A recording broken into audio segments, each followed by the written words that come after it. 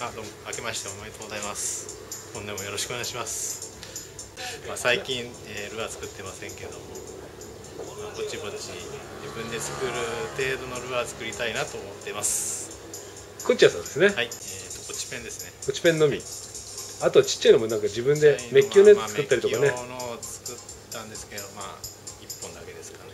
うーん。とりあえず釣れました こんなよこんなよこんなようなものこんなようなものを作ってます。はい。あのー最近なんかイカにはまっちゃってるみたいで。そうですね、うん。あのティップラン。ティップラン。簡単で誰でも釣れると思います。うん